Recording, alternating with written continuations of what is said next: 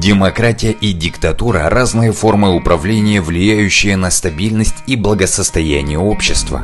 В демократии решения исходят от народа через его избранных представителей, в то время как в диктатуре власть сосредоточена в руках одного человека или группы. В демократии народ активно участвует в политических решениях, обязанности властей разделены между ветвями власти.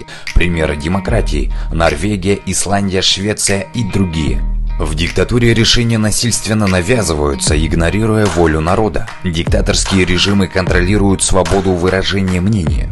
Примеры – Китай, Северная Корея, Россия и другие. И некоторые страны называют себя демократическими на бумаге, но на деле являются такими же диктаторскими и ограничивают права граждан, преследуют оппонентов, сажают в тюрьмы, как в Казахстане, Центральной Азии и России. Казахстанцам стоит решить, какой режим предпочтительнее – демократия со свободой или диктатура без выбора и прав.